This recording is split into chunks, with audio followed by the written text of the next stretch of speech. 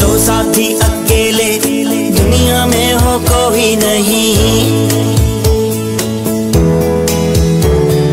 देकर सब कुछ अपना बस मिल जाऊँ मैं तुझ में कहीं।